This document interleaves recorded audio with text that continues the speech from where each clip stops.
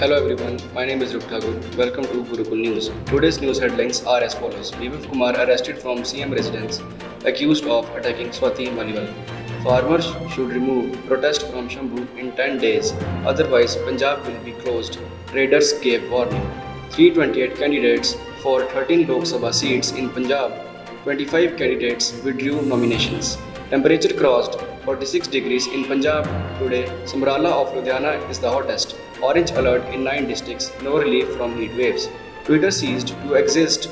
Now domain is also in the name of X. Thank you.